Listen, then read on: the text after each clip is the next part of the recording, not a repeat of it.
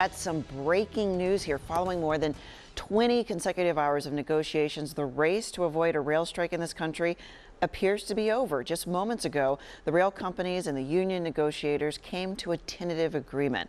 Let's go right on over to Action News reporter Katherine Scott. She's live at the CSX rail yard in South Philadelphia with these breaking new details. Good morning. Good morning, Tam. Yeah, a lot of a relief across the board here. There were concerns about transportation, inflation, exacerbating supply chain issues, and now we learn that a deal has been reached. All of the major freight railroads, including CSX, were negotiating with their unions, and now it appears a strike will be avoided.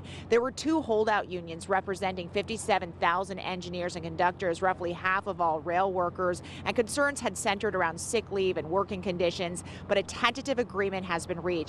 A statement from President Biden said in part, the agreement is an important win for our economy and the American people. It is a win for tens of thousands of rail workers who worked tirelessly through the pandemic to ensure that America's families and communities got deliveries of what have kept us going during these difficult years. Labor Secretary Marty Walsh said following more than 20 consecutive hours of negotiations, rail companies and union negotiators came to this tentative agreement that balances the needs of workers, businesses, and our nation's economy. And Walsh's statement went on to say the Biden administration applauds all parties for reaching this hard fought mutually beneficial deal. Uh, our rail system is integral to our supply chain, and a disruption would have been catastrophic impacts on industries, travelers, and families from across the country. And that's what we've been talking about is the concern when it comes to supply chain issues. Uh, the rail system is relied upon heavily to get goods and materials across the country, and so there were concerns about what impact a strike would have. But now we have learned